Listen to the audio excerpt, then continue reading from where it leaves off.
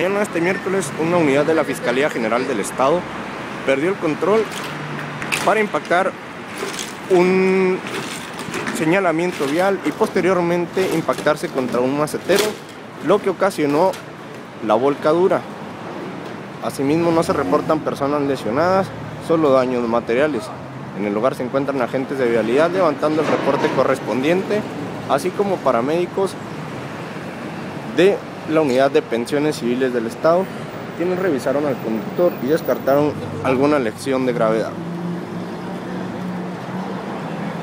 Según las primeras causas del accidente, el conductor viajaba a exceso de velocidad y perdió el control de la unidad al llegar al puente de la Teófilo Borunda Sur con la calle Colón. Informó desde el lugar de los hechos TV Diario.